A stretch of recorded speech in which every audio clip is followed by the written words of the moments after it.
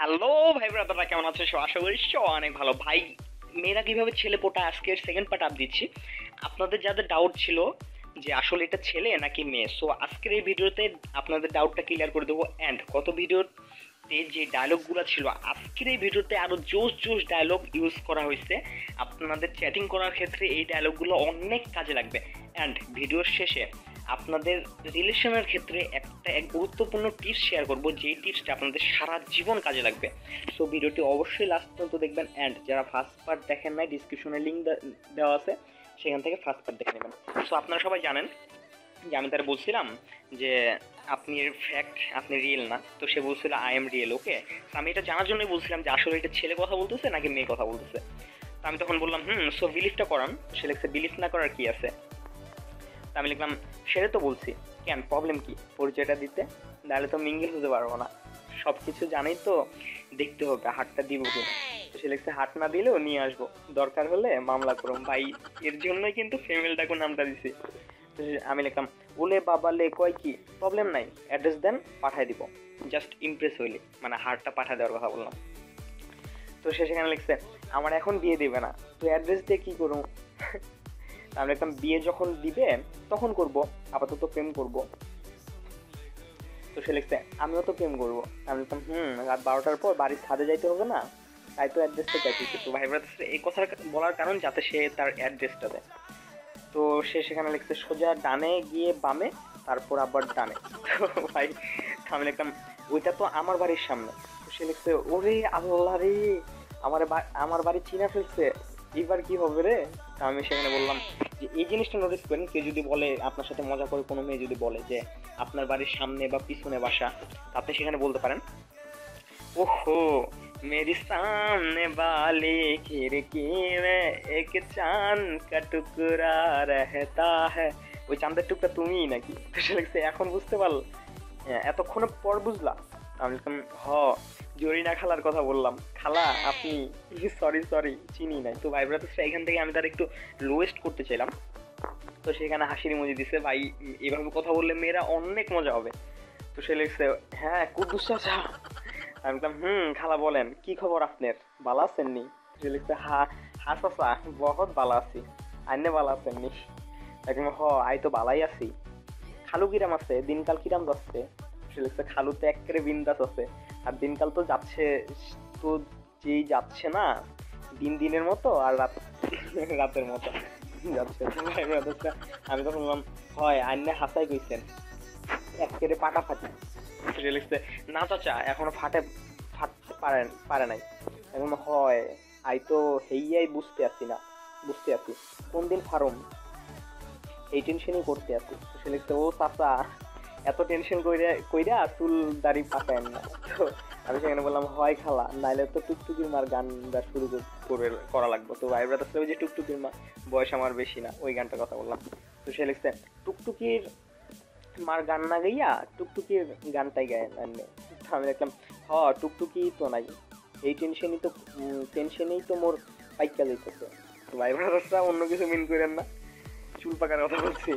সে লিখছে, টুকটুকির ফটোকপি হইলেই তো চলতো। আমি লিখলাম ফটোকপি তো নাই, নাইয়া। একটা যদি পাইতাম ফটোকপি সে লিখছে তাহলে তো টুকটুকি তোমার সেকা দিয়ে গেল। আমি লিখলাম, পাইলামই না আর সেকা সে লিখছে, কে নিয়ে গেল? আমি বললাম, ওই হালারই তো খুঁজতে আছি। পাইলে রিমান্ডে নিতাম। তো ভাই এখানে দেখেন মেয়েটা কতটা চালু অ্যান্ড কতটা ইন্টারেস্টিং তো সে জানাই তো হ্যাঁ, জানাই তো গেছো তোমার শালা নিছে। তাহলে আর খুঁজতেছো কেন? যে বললাম যে যে শালা নিছে ওরে রিমান্ডে নিতাম সে লিখছে জানাই তো তোমার শালা নিছে। খুঁজতেছো কেন? আমি লিখলাম পাই খালি ওর গুষ্টির ষষ্ঠী বানাবো। সে লিখছে সেই ষষ্ঠী তো তোমারই খাওয়াবো জামাইরই তো ষষ্ঠী খাওয়া। এগুলো হ হাসাই তো একেবারে হাসা। তাহলে একদম ওকে পরিচয়টা দিলেন না ভাই ভালো থাকেন ভালো থাক ভালো থাকবেন। তো এখানে ভাই আমি একটু অ্যাটিটিউড দেখালাম যাতে সে তার পরিচয়টা দেয়। আমি সে লিখছে পরিচয় জানাই লাগবে। একদম জিনে, জিম বানাবো, জানতে হবে না। সে লিখছে পরিচয় না যাই নাই, তো তোমার বিএফ বানাই ফেলছি। আল্লাহর কথা শুনছেন? আমি বললাম, বাট আমনে জিএফ বানাতে পারব না। আমি তো জিএফ বানাতে পারব না জিএফ জিএফ যারে বানাবো, তারই যে বিয়ে করব। তো ভাই ব্রাদাররা আসলে এই জিনিসটা একটু মাথায় রাখবেন, কারণ প্রেম ভাই মজা করার জিনিস না। যারে গার্লফ্রেন্ড বানাইবেন বা যারে বয়ফ্রেন্ড বানাইবেন, তারই লাইফ পার্টনার হিসেবে, তাছাড়া তারে অযথা কোনো স্বপ্ন দেখায় না। তো সে লিখছে, শোনো আমার পরিচয়। আমি তোমার শ্বশুর শাশুড়ির মাইয়া, তোমার হবু বউ, তোমার বাবা মার পুত্রবধূ।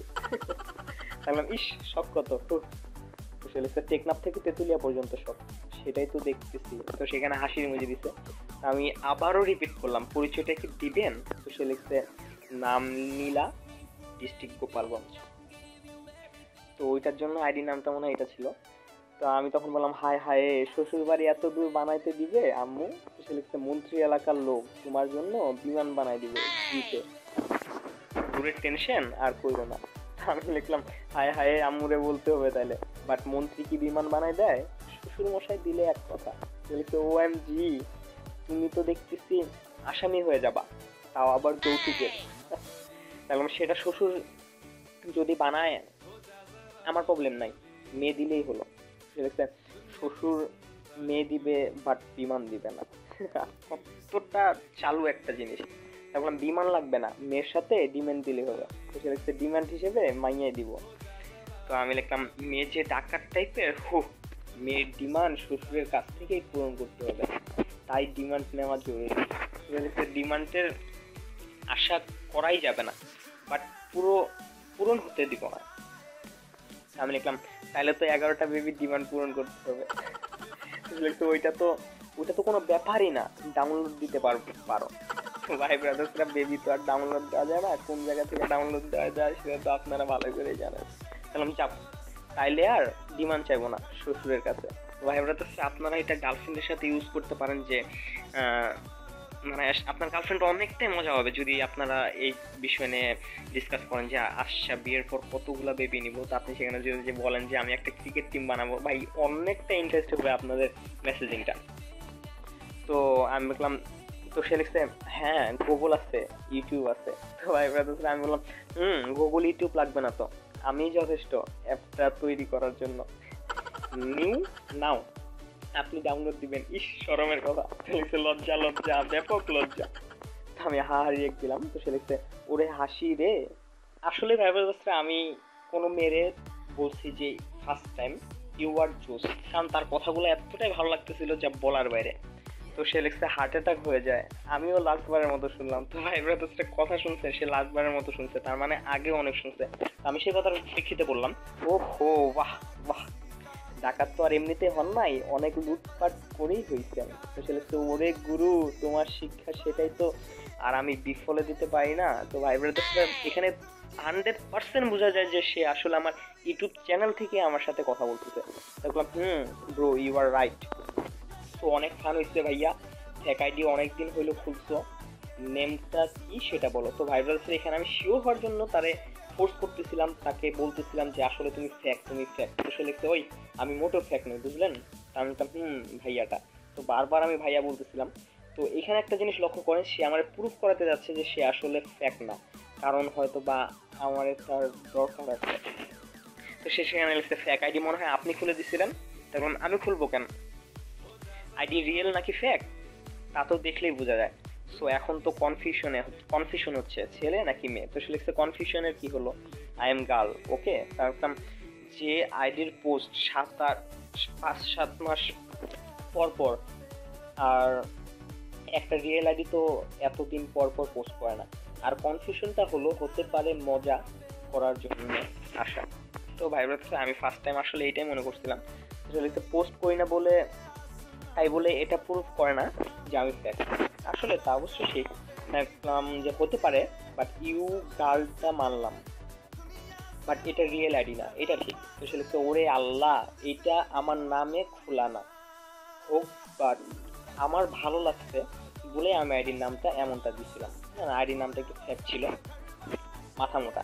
আমি দেখলাম পিক দেখি, তাহলে শ্বশুরের বেটির তো সে লিখছে কল করি তাহলে? আমি দেখলাম হুম শিওর সে সেখানে কল দিচ্ছিল অনেক কথা হয়েছে ভাই ব্রাদার্সটা অ্যান্ড এখানে একটা টেকনিক খাটাইছি যে মেসেঞ্জারে কথা বলতেছিলাম নেট কোনো প্রবলেম করতেছিল না, কিন্তু আমি ইচ্ছা করেই তারা বলতেছিলাম যে নেট প্রবলেম করতেছে নেট প্রবলেম করতেছে।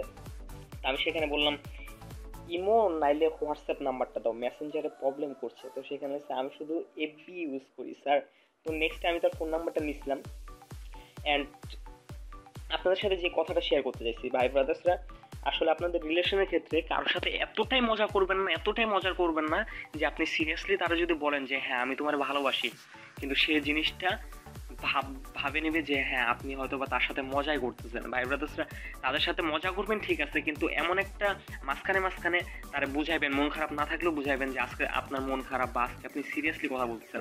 তাহলে কি হবে? আপনি নেক্সটে যদি তারা প্রপোজ করেন, তাহলে সে আপনার প্রপোজটা অ্যাকসেপ্ট করবে বা সে বুঝতে পারবে যে হ্যাঁ আপনি রিয়েলি ফান করতেছেন না, আপনি সিরিয়াসলি তারা প্রপোজ করার কথাটা বলতেছেন। ভাই, এরকম অনেক ঘুরছে, আমার অনেক ভাই ব্রাদার্সের সাথে ঘুরছে, তারা মানে মেসেজ করে জানাইছিল অ্যান্ড আমার সাথে হয়তো বা ঘুরছে, বলতে বলতে চাচ্ছি না। তো এই টাইপের ভিডিও দেখতে চাইলে আরও এখনই চ্যানেলটি সাবস্ক্রাইব করে পাশের বেল আইকনটা প্রেস করতে বলবেন না। ভাই এখনও লাইক দেন না ভাই লাইকটা দিয়ে দেন। আল্লাহ হাফেজ!